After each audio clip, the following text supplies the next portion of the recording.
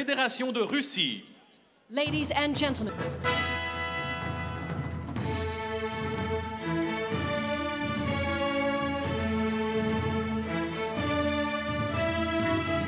Ladies and gentlemen, the silver medal.